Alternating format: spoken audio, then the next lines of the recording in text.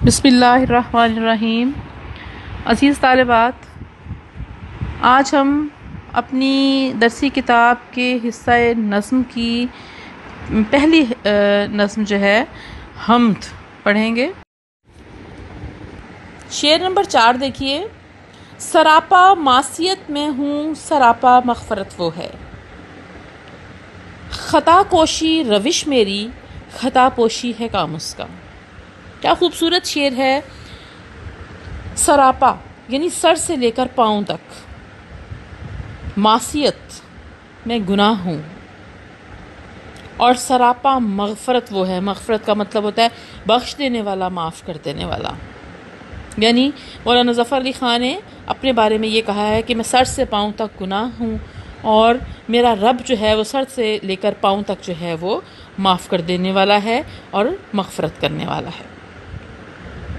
ख़ता कोशी रविश मेरी ख़ता कोशी यानी गलती करना और ख़ता पोशी यानी गलती को छुपाना, गलती को ढांप देना। रविश ख़ता कोशी रविश मेरी रविश का मतलब होता है रास्ता, तरीका। तो शेर का मतलब ये हुआ कि मैं सर से पाँव तक गुनाह हूँ और मेरा आका जो है वो मगफ़रत यानी माफ़ कर देने वाला है और मेरा तरीका जो है वो ख़ताएँ करना है, गलतियाँ करना है और मेरी ख़ताओं को ढांप लेना। और उनको छुपा लेना, ये मेरे रब का काम है, ये मेरे रब की मेहरबानी है। यानी आप ये कह सकते हैं कि इंसान जो है बहसीती इंसान, हम ख़ताकार हैं, हम ख़ताओं के पुतले हैं, और ये गलती और ये ख़ता जो है, ये हमारे ख़मीर में छुपी हुई।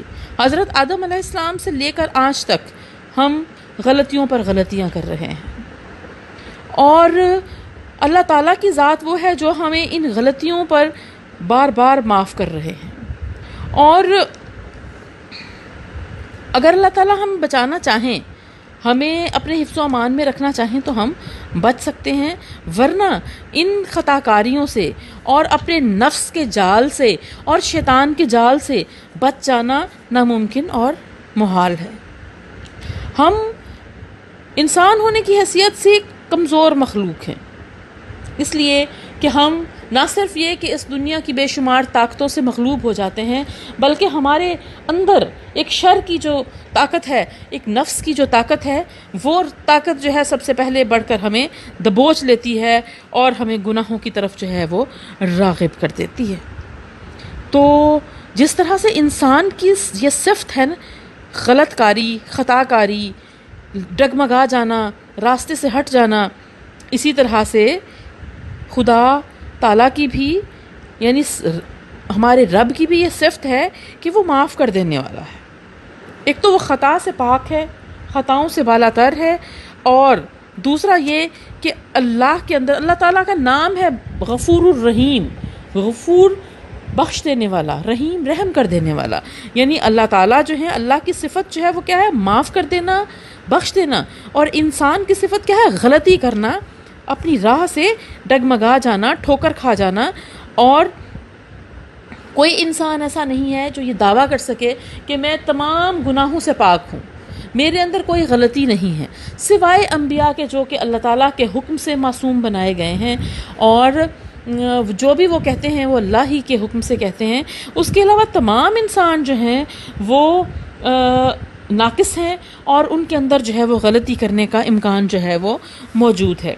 तो इसलिए शायर जो हैं वो ये बहुत आजजी के साथ, बहुत इनकसारी के साथ अपनी गलतियों का इकरार करते हैं और तस्लीम करते हैं कि अल्लाह, मैं इंसान हूँ, मैं कमज़ोर हूँ, मैं आपके सामने खड़ा नहीं हो सकता। मैं बार बार गलती करता हूँ। कोशिश और ख्वाहिश के बावजूद मैं अपनी राह से हट जाता हूँ। मैं बार बार आपसे माफ़ी माँगता हूँ, बार बार जो है मैं उस माफ़ी से रू, गर्दानी करता हूँ और फिर मैं गलत रास्ते पर चल निकलता हूँ। लेकिन अल्लाह, मैं कमज़ोर हूँ। अल्लाह, मैं ख़ताकार हूँ। अल्लाह, मैं गुनाहों से लिपटा हुआ हूँ। सर से पाँव तक जो है, मैं गुनाहगार हूँ। मेरे गुनाह समंदर की झाग से भी ज़्यादा हैं। अल्लाह, अगर मैं इन गुनाहों के साथ इस दुनिया से चला गया तो अगली दुनिया में मेरे लिए कोई जगह नहीं होगी।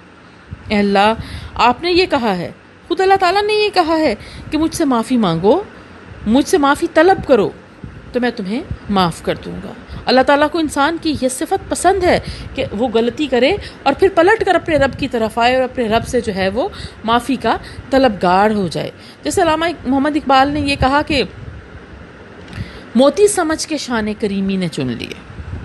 मोती समझ के शान करीमी ने चुन लिए कतरे जो थे मेरे अरके इनफाल के। अरके इनफाल यानी शर्मिंदगी से जो पसीना मेरे माथे पर आया, मेरे रब ने उसको मोती समझ कर चुन लिया। यानी अल्लाह ताला जो है, वो उन्हें ये बात बहुत पसंद है कि उनका कोई बंदा जो है, वो उनके सामने झुक जाए, अपनी गलती का एतराफ़ कर ले, अल्लाह ताला से बख्शिश तलब कर ले, अल्लाह से मगफ़रत तलब कर ले। तो फिर अल्लाह ताला जो हैं, वो ना सिर्फ़ ये कि माफ़ कर देने वाले हैं, अल्लाह ताला ना सिर्फ़ गफ़ूर रहीम हैं, बल्कि अल्लाह ताला जो है, वो सत्तारुल अयूब भी हैं। अल्लाह का नाम है सत्तारुल अयूब, गुनाहों को ढांप देने वाला। यानी वो ना सिर्फ़ ये कि इस दुनिया में दूसरों के सामने हमारी इज़्ज़त रख लेते हैं, दूसरों के सामने हमें रुसवा नहीं होने देते, बल्कि अगली दुनिया के लिए भी हमारी गलतियों को माफ़ कर देते हैं और हमें हमारी मगफरत भी कर लेते हैं, कर देते हैं। बेशक अल्लाह ताला ने ये कहा है कि मैं अपनी मखलूक को सत्तर माओं से ज़्यादा मोहब्बत करता हूँ। आप सोचिए कि एक माँ जो है, वो अपनी औलाद से कितनी मोहब्बत करती है कि वो उसके लिए आग में भी कूद सकती है, वो तूफ़ान का सामना भी कर सकती है, वो हर सही गलत काम कर सकती है अपनी औलाद के लिए, उसकी मोहब्बत के लिए। फिर वो कहते हैं कि वो जो सत्तर माओं से ज़्यादा मोहब्बत करता है, वो सरासर रहमत है। वो सरासर जो है, वो अपनी मखलूक के लिए जो है, वो मोहब्बत है, वो मुद्दत है। फिर वो कहते हैं कि ये अगर एक इंसान जो है, वो ये सोच ले कि मैं जिस रास्ते पर चला था, मैं जिस रविश पर चला था, वो रविश अच्छी नहीं थी तो मैं अल्लाह से माफ़ी मांग लूँ तो अल्लाह ताला जो है, उनको माफ़ कर देता है। ऐसा नहीं है कि एक इंसान जो है वो एक रास्ता बना ले कि हमेशा गलती कर जानबूझ कर करे और फिर अल्लाह से माफ़ी मांगे। बल्कि वो गलती जो कि इंसान ना चाहते हुए भी कर ले तो फिर अल्लाह ताला जो है, इंतहाई मोहब्बत के साथ उसको माफ़ कर देते हैं। जैसे शायर ने कहा ना कि पर्दा मेरी ख़ताओं पे डाला है प्यार का। पर्दा मेरी ख़ताओं पे डाला है प्यार का, मुझ पे बड़ा करम है मेरे पर्दादार का। गोया हम ये कह सकते हैं कि अल्लाह ताला की रहमत जो है वो हमें बख्श देती है और हम गुनाहगार जो हैं इसी सूरत इस दुनिया से जा सकते हैं। इसलिए कि कदम कदम पर हमारे पाँव फिसलते हैं। कदम कदम पर जो है वो हम अपने रास्ते से भटक जाते हैं। लेकिन आ, इसके बावजूद अल्लाह ताला जो है वो हमें माफ़ कर देते हैं। हज़रत अब्दुल्ला बिन मुबारक एक बुलंद पाया बुज़ुर्ग थे रहमत एक बार आप मस्जिद में तशरीफ़ फरमा थे कि एक नबे बरस का बूढ़ा आया और कहने लगा, हजूर, मैं बहुत गुनाहगार हूँ। क्या मैं तौबा कर सकता हूँ? लेकिन मुझे ऐसा लगता है कि बहुत देर हो गई है। हज़रत अब्दुल्ला बिन मुबारक ने फरमाया, मौत से पहले आ गए हो, इसलिए कोई देर नहीं हुई। यानी हम ये कह सकते हैं कि आखिरी लम्हे में भी इंसान अपनी गलतियों से तायब हो जाए। और माफ़ी मांग ले तो अल्लाह ताला जो है उस इंसान को माफ़ कर देते हैं। और रहमत ये चाहती है कि बख्शिश के वास्ते कह दे गुनाहगार के तकसीर हो गई। यानी अल्लाह की रहमत खुद ये चाहती है कि मेरा बंदा जो है मुझसे माफ़ी मांग ले तो मैं उसको बख्श दूँ। इसलिए कि अल्लाह अल्लाह ताला जो है वो अपने मखलूक को अजाब देना पसंद नहीं करते क्योंकि उससे मोहब्बत करते हैं। तो आखिरी शेर यह कि आसियों को ना क्यों भरोसा हो? आसियों को ना क्यों भरोसा हो? नाम रब गफ़ूर है तेरा। कि अल्लाह तू माफ़ कर दे, देने वाला है। तेरा नाम ही गफ़ूर है। तो हम जैसे गुनाहगार, आसी यानी गुनाहगार जो है, वो क्यों ना तेरी रहमत पर भरोसा करें और बार बार तेरे दरबार में आएँ, झुक जाएँ और अपनी गलतियाँ जो हैं, अपनी अदामत, नदामत के अक्श अश्क बहाएँ, रोएँ, गिड़गड़ाएँ और ते तुझसे अपनी सारी गलतियाँ जो हैं, उनकी माफ़ी तलब कर लें। शेर नंबर पाँच। मेरी उस्तादगी भी मेरे हक़ में उसकी रहमत थी। मेरी उस्तादगी भी मेरे हक़ में उसकी रहमत थी कि गिरते गिरते भी मैंने लिया दामन है थाम उसका। उस्तादगी यानी आजजी, नीचे गिर जाना और थाम लेना, पकड़ लेना। शायर इसमें यह बयान करते हैं कि मेरी दरमांदगी, मेरी आजजी, मेरा नीचे गिर जाना मेरे हक़ में मेरे अल्लाह की रहमत है। क्योंकि मैंने गिरते गिरते भी उसके दामन को थाम लिया और यूँ मुझे उसका सहारा मिल गया। अज़ीज़ तालिबात, इंसान की ज़ात जो है, वो जैसे मैंने पहले कहा कि गुनाहों का पुतला है और गलतियाँ करती है और अल्लाह ताला जो हैं वो उसको माफ़ करते रहते हैं। इंसान की ज़िंदगी में बेशुमार ऐसे मराहल आते हैं जब इंसान मायूस हो जाता है। इंसान दरमांदा हो जाता है। जब वो उसको कोई रास्ता नहीं मिलता, वो आजिज़ हो जाता है। और ये बात जो है, वो इंसान को बड़ी गरां गुजरती है। उसके लिए बड़ी परेशानी का सबब बनती है। लेकिन यही परेशानी, यही तकलीफ़ एक इंसान के लिए बाज़ात फ़ायदे का बायस बन जाती है। यानी इस तकलीफ़ में से भी एक खैर का पहलू निकल आता है। और वो खैर का पहलू क्या है? कि एक इंसान जो कि अपने गुनाहों में मुबतला हुआ और मुसीबतों में मुबतला हुआ, और उसने ये समझा कि मैं, मेरा अब कोई इस दुनिया में मकाम नहीं है। मुझे कोई रास्ता नहीं मिलता। हर तरफ़ अंधेरा है, हर तरफ़ परेशानी है। तो फिर उस सारी सूरत हाल में, उस घुप अंधेरे में उम्मीद की एक ही किरण नज़र आती है। तकलीफ़ों में जब दुनिया का कोई शख्स साथ नहीं देने वाला होता, जब कोई शख्स हाथ पकड़ने वाला नहीं होता, जब कोई रास्ता दिखाने वाला नहीं होता, जब मुश्किलात में से कोई निकालने वाला नहीं होता, जब बीमारियों, अजियतों, तकलीफ़ों, आजमाइशों में से बाहर निकलने का कोई तरीका नज़र नहीं आता तो फिर उस वक्त इंसान एक ही दर पर दस्तक देता है, एक ही हस्ती है जिसको पुकारता है और वह हस्ती कौन सी है? वो हस्ती अल्लाह ताला की ज़ात है। वो अल्लाह ताला को पुकारता है। वो अल्लाह ताला को आवाज़ देता है और वो ये कहता है कि अल्लाह तो मुझ पर रहम कर। तेरी रहमत जो है, वो मुझे चाहिए। इसलिए कि मुझे इस तकलीफ़ से निकलने का कोई रास्ता नहीं नज़र आ रहा। तो दर हकीकत जब हम दुनिया में देखते हैं ना कि हम तकलीफ़ों में हैं, हम मुसीबतों में हैं, हम आजमाइशों में हैं, हम परेशानियों में हैं तो हमें इन परेशानियों को दर हकीकत अपने लिए एक फ़ायदा समझना चाहिए। इनको अपने लिए एक रहमत ख्याल करना चाहिए।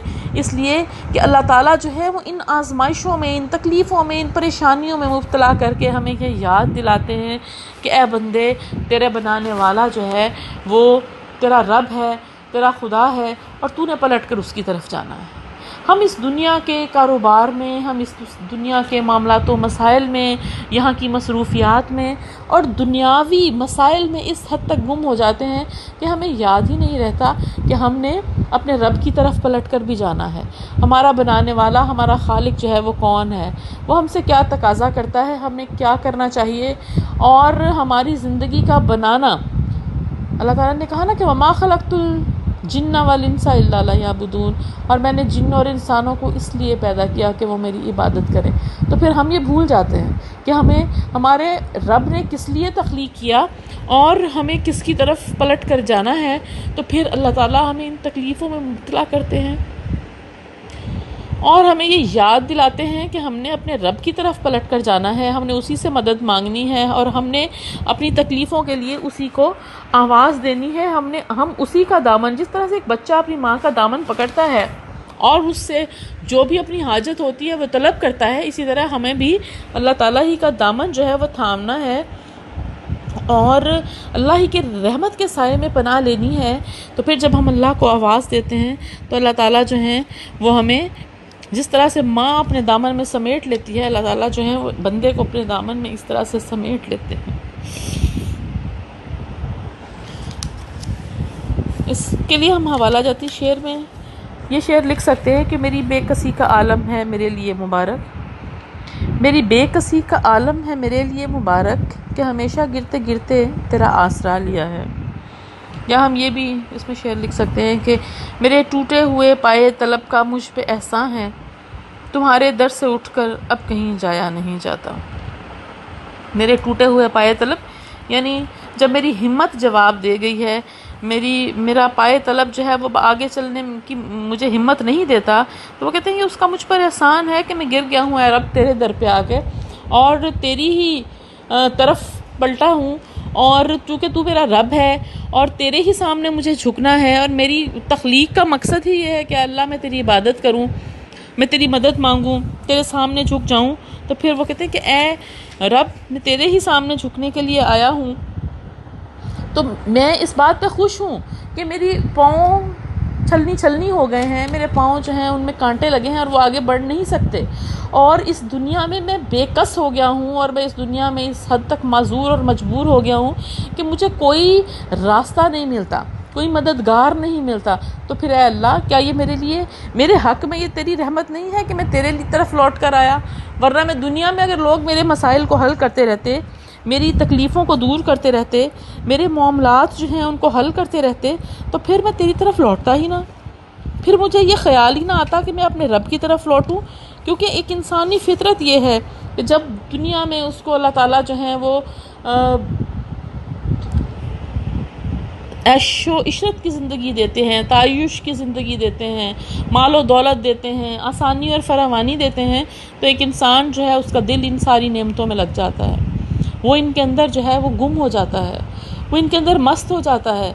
और उसे याद नहीं रहता कि मेरा मबूद जो है वो मुझसे मोहब्बत की तो रखता है, मेरा मबूद जो है मुझसे इबादत की तो रखता है और मुझे अपने रब की तरफ़ जो है वो लौटना चाहिए और उसके सामने झुकना चाहिए और उसकी इबादत करनी चाहिए और ख़ुद को उसका ग़ुलाम और बंदा समझ कर उस अपने आका के सामने जो है वो दो जानों हो जाना चाहिए, उसके सामने सजदा रेस हो जाना चाहिए, बल्कि दुनिया की मोहब्बत उसके दिल को अपनी गिरफ्त में ले लेती है, दुनिया की मोहब्बत उसको अपनी तरफ़ बुला लेती है और अपनी लपेट में ले लेती है। और जिसका नतीजा ये होता है कि अल्लाह की ज़ात से गाफिल हो जाता है। लेकिन शायर ने बड़ी खूबसूरती से ये कहा कि शुक्र है कि जब कोई तकलीफ़ आती है और मैं गिर जाता हूँ और मैं अथाह गहराइयों में चला जाता हूँ और मैं अंधेरे में चला जाता हूँ तो फिर अल्लाह की रहमत मुझे वहाँ से हाथ पकड़ कर खींच लेती है। तो वो कहते हैं कि ए रब, इन तकलीफ़ों का, इन परेशानियों का, इन मुसीबतों का शुक्रिया जो मुझे मेरे रब की याद दिलाती हैं और अल्लाह जब मैं गिरता हूँ तो मैं आप ही के दामन को थाम लेता हूँ। शेर नंबर छः, हुई ख़त्म उसकी हजत इस ज़मी के बसने वालों पर कि पहुँचाया है उन सब तक मोहम्मद ने कलाम उसका। हजत बहस तकरार, दलील,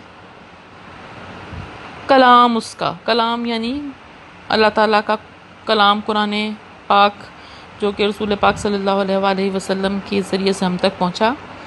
इस शेर का मफहम कुछ इस तरह से है कि ज़मीन पर बसने वाले लोग जो हैं, अल्लाह ताला ने उनकी हजत को, उनकी बहस को ख़त्म कर दिया और उन तक अल्लाह का कलाम जो है वो पहुँचा दिया।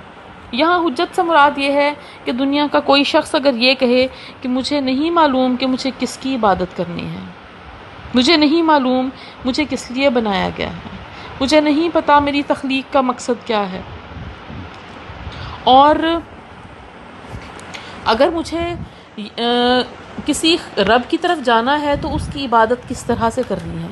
मैंने अपनी ज़िंदगी इस दुनिया में पहले दिन से लेकर आखिरी दिन तक कैसे गुजारनी है? गोया, कोई शख्स जो है ये एतराज़ नहीं कर सकता। क्यों नहीं कर सकता? क्योंकि अल्लाह ताला ने जब इस कायनात को बनाया तो रिवायात के मुताबिक अल्लाह ताला ने एक लाख चौबीस हज़ार पैगंबर जो हैं वो इस दुनिया में भेजे और अपनी तमाम मखलूक जो हैं उनको इसमें अपना पैगाम जो है वो अपने अम्बिया के ज़रिए से पहुँचाया। और ज़ाहिर है कि हर दौर में मुख्तलिफ़ नबी आए और उन्होंने अपने अपनी जो पैगाम अल्लाह की तरफ़ से, वो बंदों तक पहुँचाए। बहुत सारों ने इनकार किया, बहुत सारों ने कबूल किया। और इस तरह से जो है ये सिलसिला चलता रहा। अब यहाँ पर अल्लाह ताला ने जो कलाम पाक भेजा है या मज़हब इस्लाम, दीन इस्लाम जो भेजा है, इसको हुज्जत क्यों कहा गया? इसलिए कि अल्लाह ताला ने एक लाख चौबीस हज़ार पैगंबर भेजे और आप सल्लल्लाहु अलैहि वसल्लम को नबी आखिर बनाकर हिदायत के लिए भेजा दुनिया में। और अब रहती दुनिया तक जितने भी लोग हैं, वो उनके लिए आप सल्लल्लाहु अलैहि वसल्लम की जो हदीस है, उनकी सुन्नत है और कुरान, कलाम पाक जो है उसमें उनके लिए एक पैगाम जो है, वो मौजूद है। और आप सल्लल्लाहु अलैहि वसल्लम ने तेईस साल तक दुनिया में लोगों को अल्लाह का पैगाम बताने में, उनको अल्लाह का पैगाम पहुँचाने में और उस पर अमल करके दिखाने में जो है वो अपना वक्त जो है वो सर्व किया। और बड़े सब्र के साथ, बड़े तहमुल के साथ तमाम तकलीफ़ों को, रुकावटों को, आजमाइशों और मुश्किल को बर्दाश्त किया। हती कि अल्लाह ताला ने हजतुलविदा के दिन ये आयत नाजिल की अलयमा अकमल तो लकुम दीनुकुम। आज के दिन तुम्हारा दीन तुम्हारे लिए मुकम्मल कर दिया गया। गोया, दीन पहुँचाने का वो सिलसिला जो कि हज़रत आदम आसमाम से शुरू हुआ था, हज़रत मोहम्मद अलैहि वसल्लम पर आकर वो सिलसिला जो है वो मुकम्मल हो गया, उसकी तकमील हो गई। और अल्लाह ताला ने बनी नो इंसान को अपना कलाम जो है वो पहुँचा कर सरफराज कर दिया और तमाम इंसान जो हैं, उनको ये बता दिया कि आपको किस लिए बनाया गया है आपके बनाने और इस दुनिया में भेजने का क्या है? और चूँकि आप सल्लल्लाहु अलैहि वसल्लम ने तमाम दुनिया के लोगों को ये बताया कि अल्लाह ताला ने बंदे को इस दुनिया में बनाकर भेजा है और एक ख़ास निज़ाम ज़िंदगी एक ख़ास जबता हयात जो है वो इंसान के लिए दिया है ताकि इंसान उसके ऊपर चले सरात मुस्तकीम पर। और अल्लाह के अहकाम के मुताबिक जो है अल्लाह के अहकाम की पैरवी करे और नेकी का हुक्म दे और बुराई से रोके और इन्हीं अहकाम को बजा बजा लाए। और अब सवाल ये पैदा होता है कि इंसान को कैसे ये मालूम हुआ कि रास्ती क्या है? यानी सीधा रास्ता क्या है? इबादत क्या है? इंसान का मकसद तख्लीक क्या है? ये कायनात क्यों बनाई गई? किस लिए बनाई गई? और इस कायनात के अंदर आकर इंसान ने क्या फ़र्ज़ अदा करने हैं? इंसान ने अपने जैसे इंसानों के साथ जो है वो क्या सलूक रवा रखना है? और अगर हमने अल्लाह की इबादत ही करनी है तो हमें इसके लिए ही बनाया गया है तो फिर हम वो इबादत जो है वो किस तरीके से करेंगे? और ये यानी और अपने साथ रहने वाले लोग जो हैं, उनके हकूक़ हम पर क्या है और हमारे जो है क्या हकूक़ उन पर हैं, वो क्या फ़रज़ हैं जो हमने अदा करने, ये सारी बातें हमें कहाँ से पता चली? ये सारी बातें जो हैं, हमें अल्लाह के नबी रसूल पाक अलैहि वसल्लम ने पहुँचाई, अल्लाह के कलाम कुरान पाक के ज़रिए से और फिर उन, उस कलाम पाक पर अमल करके दिखाया। और ताकि हमें सही मानों में पता चल जाए कि हमने उस पर कैसे अमल करना है। और हज़रत आयशा सदीक़ा रज़ी तु का कॉल है, उनका इशाद पाक है कि रसूल पाक सल्लल्लाहु अलैहि वसल्लम चलता फिरता कुरान थे। यानी आप सल्लल्लाहु अलैहि वसल्लम का जो अखलाक था, वो कुरान की अमली तफसीर था। और वो ना सिर्फ़ ये कि ज़ुबानी पैगाम जो है वो अल्लाह का पहुँचा दिया, बल्कि उसके ऊपर जो है वो अमल करके भी दिखा दिया। ताकि कोई शख्स ये ना कह सके कि मैं तो इंसान हूँ और मैं आजिज़ हूँ इन तमाम चीज़ों पर अमल करने से। बल्कि अल्लाह ताला ने रसूल पाक सल्लल्लाहु अलैहि वसल्लम ने अल्लाह के पैगाम पर अमल करके दिखा दिया कि ये जो पैगाम है, ये जो अल्लाह का पैगाम इस्लाम है, ये कोई नामुमकिनात में से नहीं है। ये कोई ऐसी चीज़ नहीं है कि जो एक इंसान जिस पर अमल ना कर सकता हो, बल्कि इस पर अमल करना जो है वो मुमकिन है। और ख़ुद एक इंसान होने की हैसियत से आपने तमाम इबादत के तरीके भी समझा दिए। फिर ख़ुद नमाज़ें भी पढ़ी, नवाफिल भी अदा किए, रोज़े भी रखे और अल्लाह की राह में जो तकलीफ़ें थी वो भी उठाई ताकि लोगों के लिए एक मिसाल बन जाए और उन्हें ये पता चल जाए कि हमने अपनी इबादत किस तरह से करनी है, हमने उसके अंदर जो है वो किस चीज़ का ख्याल रखना है, क्या चीज़ें हैं जो हमारे लिए सही हैं, उनको हमने कबूल कर लेना है और उन पर हमने अमल पैरा हो जाना है। और कौन सी चीज़ें ऐसी हैं जो हमारे लिए दुरुस्त नहीं हैं, जो हमारे लिए जायज़ नहीं है, हमने उनको छोड़ देना है। तो ये सारा कुछ जो है, ये अल्लाह ताला ने अपने बंदों तक एक पैगाम, एक बड़े जबता हयात, यानी दीन इस्लाम की शक्ल में आप सल्लल्लाहु अलैहि वसल्लम के ज़रिए से दुनिया वालों तक पहुँचा दिया। गोया आपने जो उस पर अमल किया तो हम ये कह सकते हैं और अमल करके दिखाया कि उसी की ज़ात है कुरान की हसी तफसीर, उसी की ज़ात है कुरान की हसी तफसीर, उसी का कौलो अमल मुस्तकिल हवाला है। या हम यूँ भी कह सकते हैं कि सिद्को सफ़ा का पैकर पुरनूर आ गया सिद्को सफ़ा का पैकर पुरनूर आ गया लेकर हयात ताज़ा का मंशूर आ गया। हयात ताज़ा यानी नई ज़िंदगी का मंशूर। मंशूर कहते हैं उसका तरीका उसका चार्टर। तो वो एक चार्टर जो है जो एक तफ, उसकी एक तफसीर जो है वो हमें किसने पहुंचाई? यानी अल्लाह ताला का पैगाम जो है वो आप सल्लल्लाहु अलैहि वसल्लम के ज़रिए हम तक पहुँचा।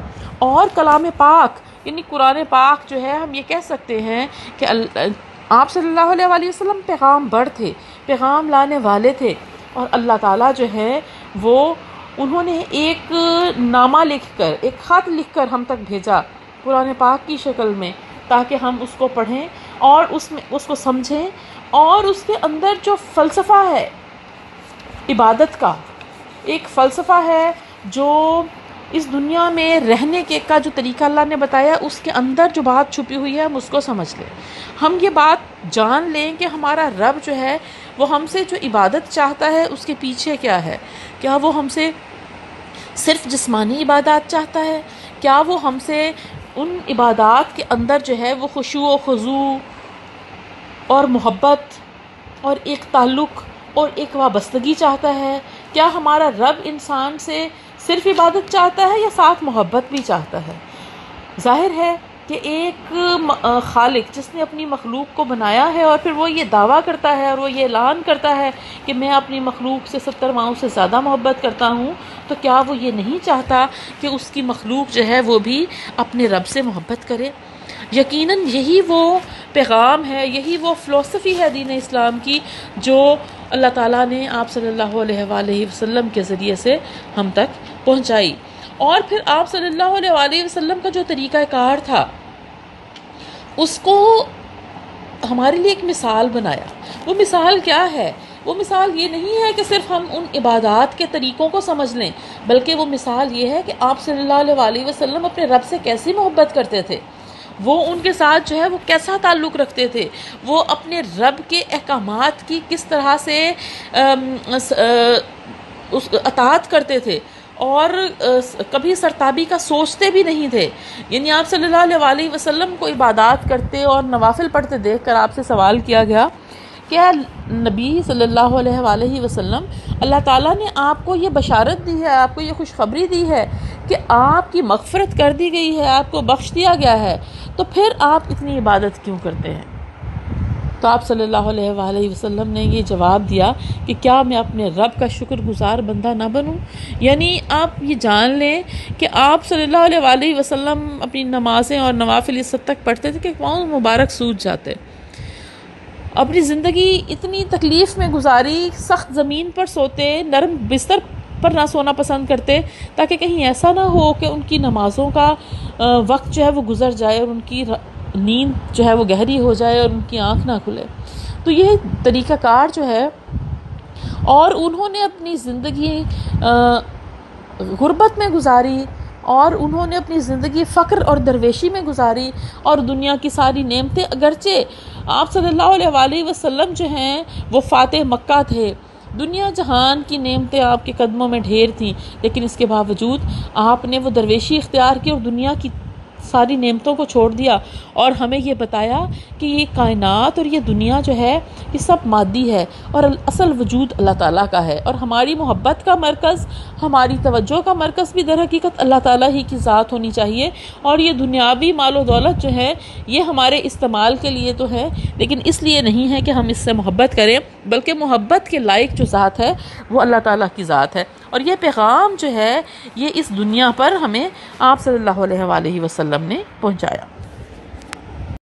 शेर नंबर सात, बुझाते ही रहे फूकों से काफिर, इसको रह रह कर, मगर नूर अपनी साथ पर रहा होकर तमाम उसका। बुझाते ही रहे फूकों से काफिर, उसको रह रह कर, मगर नूर नूर मिन रोशनी। साथ अपनी साथ पर साथ का मतलब होता है खड़ी या लम्हा या वक्त, होकर तमाम उसका, तमाम होना यानी मुकम्मल हो जाना।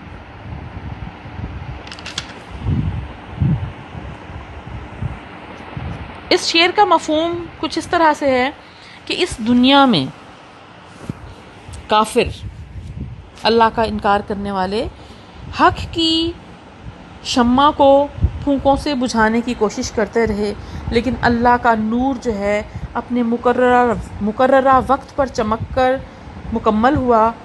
ये कुफार की फूकों से नहीं बुझ पाया।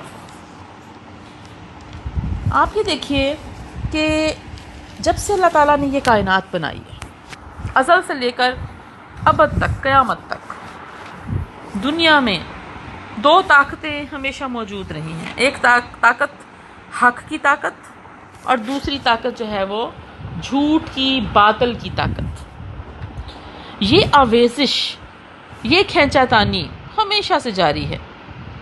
और हमेशा कुफ्र जो है, हमेशा तारीकी जो है, हमेशा जुल्मत जो है वह नूर के ऊपर गालिब आने की कोशिश करती रही दुनिया में नेकी और बदी की ताकतें हमेशा एक दूसरे के मुकाबिल रही हैं। और बातिल की हमेशा ये कोशिश रही है कि हक के नूर को फैलने से रोका जाए। लेकिन हक ये है कि हक से मुराद यह है, सच्चाई अल्लाह ताला का रास्ता। और ये कशमकश जारी रहेगी, लेकिन फिर भी हक का चराग जो है वो हमेशा जलता रहेगा। जब तक इंसान का वजूद दुनिया में बाकी है, तब तक ये लड़ाई जो है, तब तक ये कश्मकश जो है, ये चलती रहेगी। और बातिल जो है वो अपनी सी कोशिश करता रहेगा, लेकिन हक जो है वो हमेशा गालिब आकर रहता है।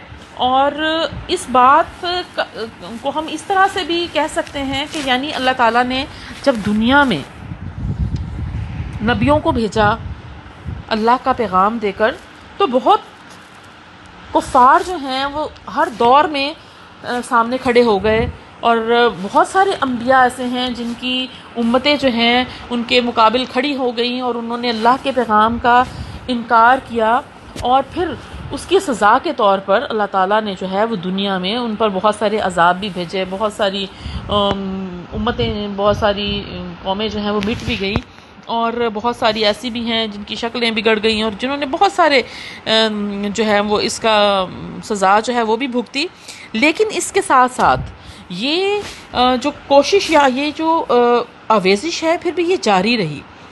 और इसके बाद हम देखते हैं कि प्यारे नबी सल्लल्लाहु अलैहि वसल्लम जो अल्लाह का आखिरी पैगाम लेकर आए और अल्लाह का कुरान और जबता हयात जो है वो तमाम लोगों तक पहुँचाया तो हम उसमें ये देखते हैं कि उसमें अहल अरब जो हैं, चूँकि ज़ाहिर है कि सदियों से एक ख़ास अंदाज में वो ज़िंदगी गुजार रहे थे और उनका कहना ये था कि हमारे बाप दादा इसी तरीके से ज़िंदा रह रहे हैं तो हम भी इसी तरह से रहेंगे बूतों की पूजा करते और अल्लाह के मुकाबिल जो है वो बहुत सारी ताकतें जो हैं वो उनको खड़ा कर चुके थे और उसके अलावा अखलाकी ख़राबियाँ भी उनके अंदर बेशुमार मौजूद थीं और जब रसूल पाक सल्लल्लाहु अलैहि ने अल्लाह का पैगाम पहुँचाया। तो हम सब जानते हैं कि उसका जवाब जो है वो क्या मिला। यानी आप सल्लल्लाहु अलैहि को वो सादिक और अमीन समझते थे। लेकिन इसके बावजूद जब अल्लाह का पैगाम पहुँचा तो इस बात को भूल गए। जब आप वसल्लम ने पहली वही के बाद अल्लाह का हुक्म हुआ कि लोगों तक अल्लाह का पैगाम पहुंचाएँ और आपने ये पैगाम पहुँचाया तो अहले अरब आपके दुश्मन हो गए। और ना सिर्फ़ ये कि अरब के लोग, बल्कि वो यहूदी जिनकी किताबों में और वो ईसाई जिनकी किताबों में अल्लाह ताला ने पहले से ये पेशीन गोई की थी कि एक नबी आखिर उस जमा आएगा। और उन सबको उस पर ईमान लाना है। वो सारे के सारे मुनकर हो गए। उन्होंने अपनी किताबों को जुटला दिया, इसलिए कि वो नहीं चाहते थे कि वो इस पैगाम हक़ को कबूल करें और किसी और की बर्तरी को तस्लीम कर लें। और वो लोग जो कि आप सल्लल्लाहु अलैहि वसल्लम के कबीले से ताल्लुक़ रखते थे, आपके ख़ानदान से ताल्लुक़ रखते थे, वो सारे के सारे आपके दुश्मन हो गए। और फिर उन्होंने अजियतों, तकलीफ़ों और मुसीबतों का कौन सा तरीका है जो आप सल्लल्लाहु अलैहि वसल्लम और आपके साथियों पर जो है वो इस्तेमाल नहीं किया? उनको उनके राह से हटाने के लिए तकलीफ़ें भी दी, मुसीबतें भी उनके राह में रोड़े भी अटकाए, मुसीबतें भी पैदा की और जब यहाँ से काम ना बना तो फिर उनको लालच भी दिए। फिर उनको उनकी राह से हटाने के लिए जो है वो तरह तरह की तरगीबात भी दी। लेकिन वो कहते हैं कि ये काफिर जो हैं, इन तमाम कोशिशों के बावजूद अपने जो मकसद में कामयाब नहीं हो सके। और उसकी एक वजह है कि एक तरफ़ अल्लाह ताला का नूर है एक तरफ़ हक की ताकत है, यानी हक समरात अल्लाह ताला की ताकत है, और दूसरी तरफ़ जो है, वो इंसान हैं जो मुकाबिल हैं। ये कुफ़ार जो हैं या जो बदी की ताकतें हैं, वो इंसानों की सूरत में हैं, या वो शैतानों की सूरत में हैं। तो वो अल्लाह के सामने किस तरह खड़ी हो सकती हैं? वो किस तरह से हक की राह में रुकावट जो है, वो पैदा कर सकती हैं? और अल्लाह ने चूँकि अपने नूर को इस दुनिया में फैलाना ही था, और अल्लाह ने अपना पैगाम इस दुनिया में भेजना ही था तो ये नूर जो है, इसको इस दुनिया में आना और मुकम्मल होना ही था। और अल्लाह ताला ने ऐलान कर दिया कि मैंने तुम्हारा दीन तुम पर मुकम्मल कर दिया तो गोया अल्लाह ने जो पैगाम पहुँचाना था, हम तक वो पहुँचा कर ही रहे। और अल्लाह, और ये जो मखलूक है, ये जितना भी अपने आप को बढ़तर समझ ले फ़िरौन हमान और शद्दाद जो हैं वो जितना भी अपने आप को खुदा कह लें और नमरूद जो है वो जैसे भी खुदाई का दावा कर ले खुदा के मुकाबले में तो वो मखलूक ही हैं और कमज़ोर हैं। वो कभी भी अल्लाह के मुकाबले खड़े नहीं हो सकते।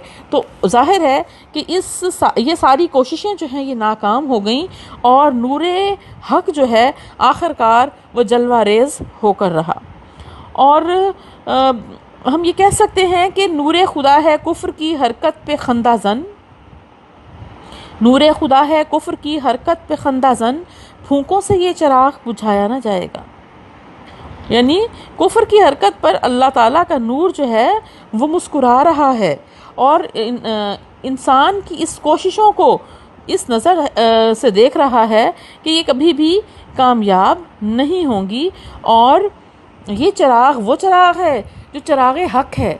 और इस चराग के अंदर जो रोशनाई है, इसके अंदर जो तेल है, दर हकीकत वो अल्लाह ताला का नूर है। और इस नूर को बुझाना जो है वो एक इंसान के लिए मुमकिन नहीं है। जितनी भी आंधियाँ आएँगी, इस चराग को बुझाना उनके लिए नामुमकिन है।